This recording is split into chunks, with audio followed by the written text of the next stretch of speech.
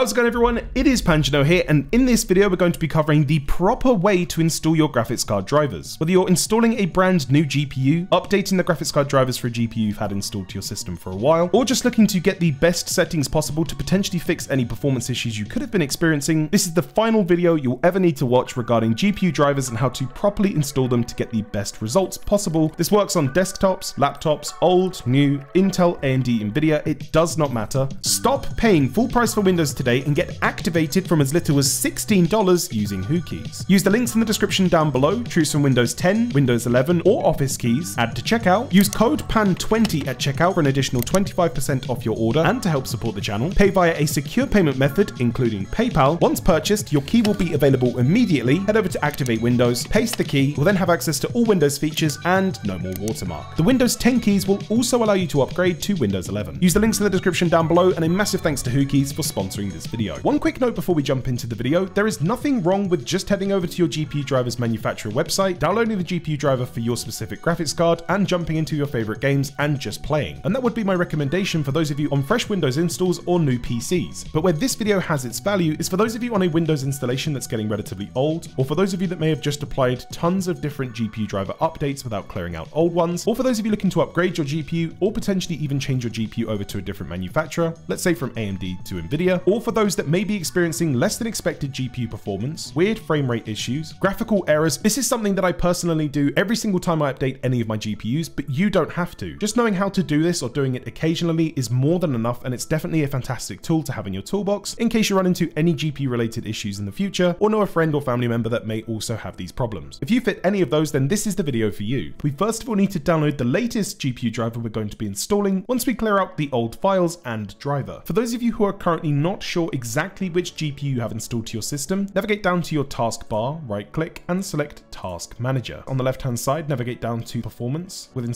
here, scroll all the way down to GPU. Once you select this, you'll then find the GPU make and model in the top right hand side. Go over to your web browser. For those of you on NVIDIA GPUs, simply search for NVIDIA drivers and head to nvidia.com or nvidia.co.uk. Navigate down to the manual driver search, select the product series. Me, it's an RTX 40 series. If you had a laptop, it would be under notebooks. Go to the product. For me, it's going to be an RTX 4060. Select your operating system, language, and select Start Search. Right at the top, you should have your latest Game Ready driver that you should be downloading. Navigate over to Get Download, then select Download Now. For those of you on AMD Radeon GPUs, head over to Google, search for AMD Radeon drivers, head over to amd.com slash support, simply scroll down, select the Graphics tab. For me, I have an RX 7000 series, and it's an RX 7600. I have the normal version, not the XT, select Submit, scroll down, select the operating system you're using, and on the right hand side, select Download. And for those of you with an Intel GPU, search for Intel Arc drivers. Navigate down to the Intel Arc graphics drivers page, navigate down to the latest WHQL certified game drivers, download here section, always going with the latest found at the top. Once that's been selected, navigate down to download and download the latest driver. You should then have your GPU driver, which we'll be installing later on once we've cleared out all of the old data. Next up, we need to get hold of the display driver uninstaller. This application is going to take care of all of the heavy lifting with removing the old GPU drivers from your system. Head over to Google, search for display driver uninstaller. I'm going to be going over to the official source of wagnardsoft.com. Head up to the top to softwares, then go to display driver uninstaller. At the top, you'll find the latest available version, then scroll down slightly slightly once again until you find the option to click here for download and support. Scroll down once again on this page where you can either get the installer version or the portable version if you don't want anything installed to your system. Both versions work fine. Once downloaded, open the file. Select next, agree, next, and install. Before we jump in and use DDU, if you happen to have opened it, you'll more than likely be notified that it's recommended to use this in safe mode. Booting into safe mode means that your system will use the default Windows display driver rather than your current GPU's driver, allowing the application to go in and remove the old GPU driver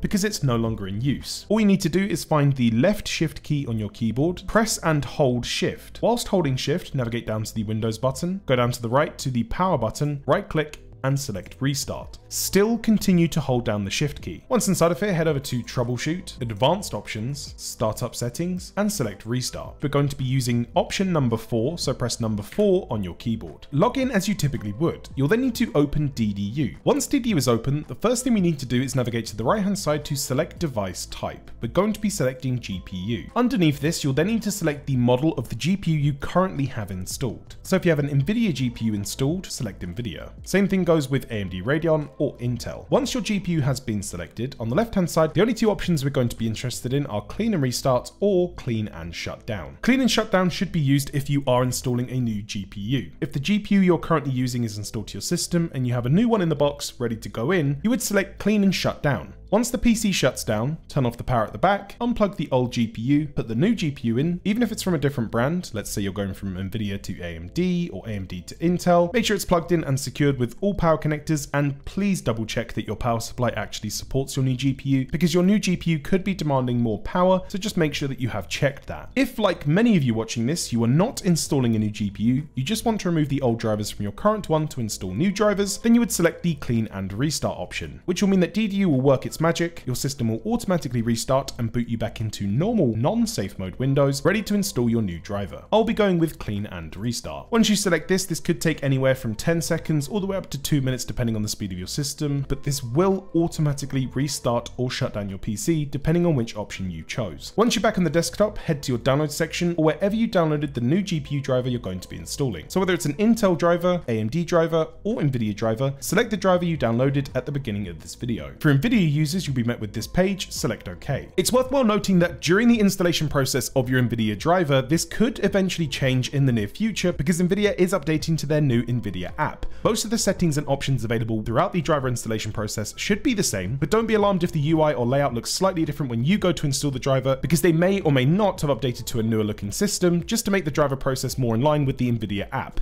You'll then be given two different options. Install the NVIDIA graphics driver with the GeForce experience or just install the graphics driver.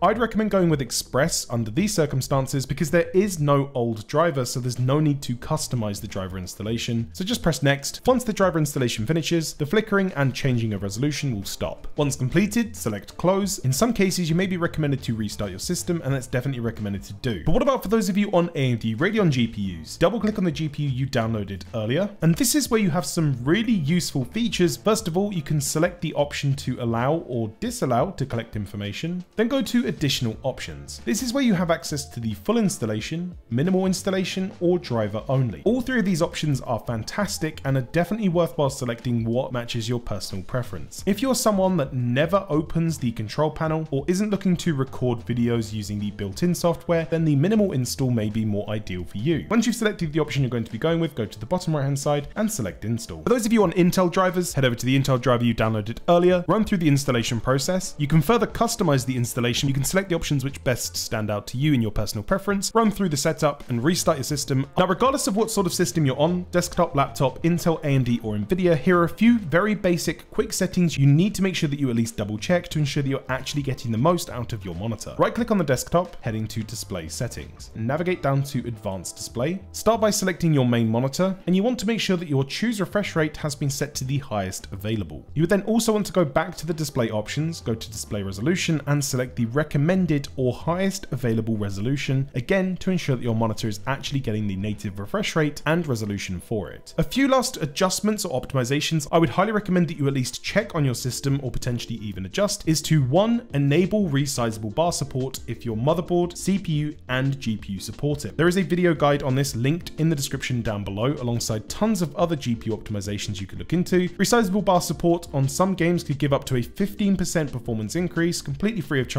that's there and waiting for you to turn it on, but in many cases is not automatically enabled. Regardless of the GPU you're running on, whether it's a desktop or a laptop, it's definitely worthwhile at least jumping into the Nvidia or AMD Radeon settings to see what options are available with inside of there. There is so much that you can do with inside of these drivers, especially with AMD's, and if you'd like to learn more about which options you should use or a full rundown of all of the settings available and what I would recommend, you can also check out video guides linked in the description down below for the NVIDIA control panel and the AMD Radeon panel. Let me know of your results, questions, queries, or if you ended up upgrading to a different GPU in that comment section down below as it's always fantastic to hear from you guys. You can find a ton of different videos linked in the description down below under the playlist section. Alternatively, if you're not entirely sure where to go next but enjoy content like this, check out one of the two videos on screen now and I'll see you guys over there.